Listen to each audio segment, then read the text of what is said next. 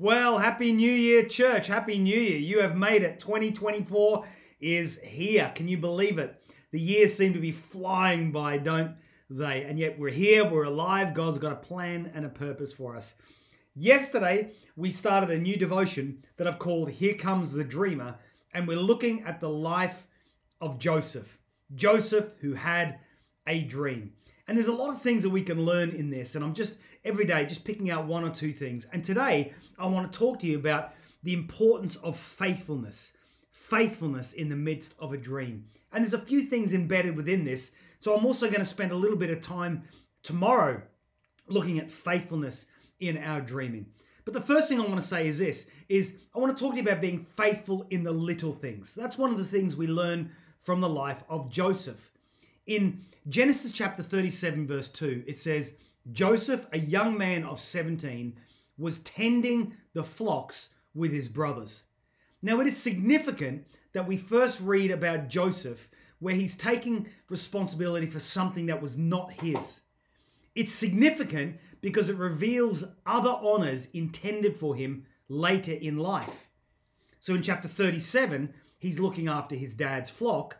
And in chapter 39, the Bible says Joseph found favor in his eyes and became attendant.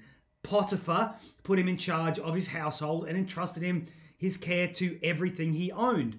In chapter 39, verse 22, it says, The warden put Joseph in charge of all those held in the prison, and he was made responsible for all that was done there.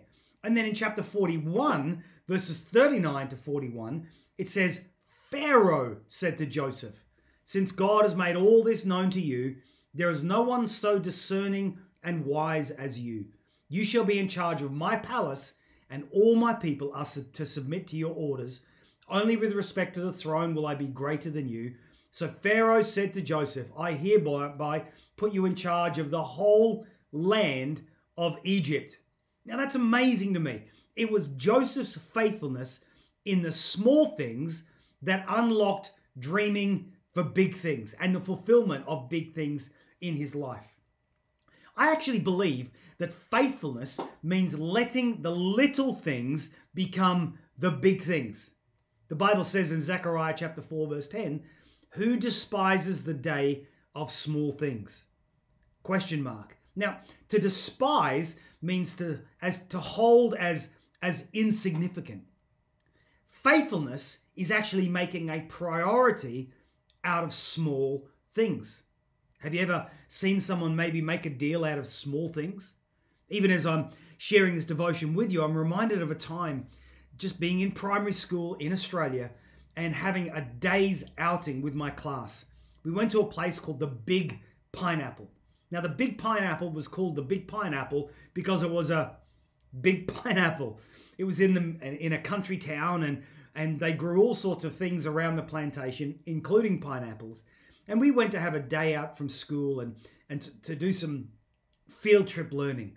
And I remember I was given $2 by my mum and dad. Only $2 is what I had with me for, for spending money.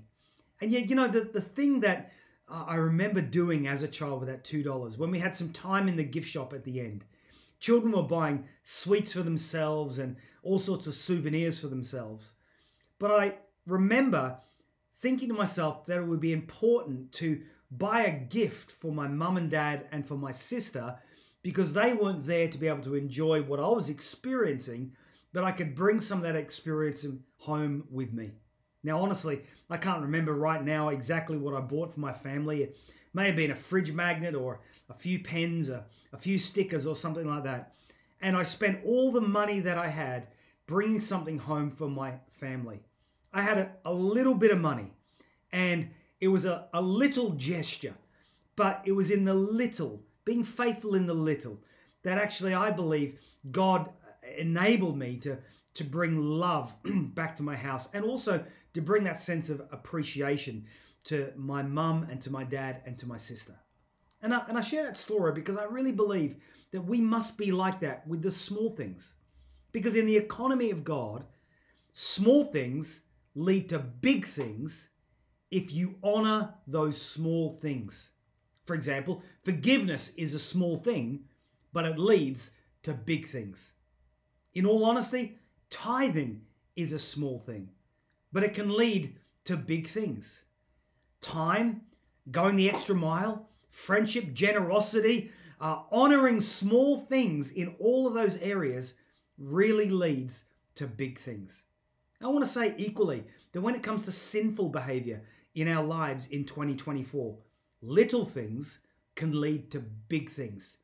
So be careful that the thing that we honor, the small things that we honor, are good and godly things, because the reality is this though a seed is small, it brings in a large harvest. So I want to encourage you, like Joseph, be faithful in the little things, in the right little things. I think the reality is this is there can be so many things that we write off as being beneath us or being beyond us. I was recently in another country of the world and and I was using the restroom facilities before speaking.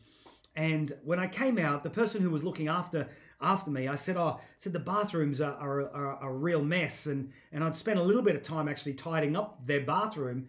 And the individual said to me this, said, "Oh, I don't do bathrooms," and his phrases are this: "I don't do it; it's beneath me." And I thought to myself, therein lies a real problem with you, because faithful in small things leads to God creating the opportunity for larger things. And here's what I want you to see about Joseph Joseph tended the flock, he was faithful in small things, but he ended up being given the country. Now, most people want the fulfillment of a big dream, but the way big dreams come to pass is by being faithful in the small things. Now, I don't know in what area of your life you maybe consider is beneath you or too small for you. I just want to encourage you this season be faithful in small things and watch what God will do in your life through that. Father, I pray on this first day of this new season of this new year. It's one day among 365. It's a small moment in amongst all the time that we have for the remainder of the year. I pray that in this moment, would you help us to learn this lesson, to be faithful in the moments that we have, faithful in the small things, because we know that the small leads to great. Bless everybody in the life of our church, I pray. In Jesus' name, amen. Hey, Happy New Year one more time, church, and look forward to catching up with you really soon. See you in church. Bye bye.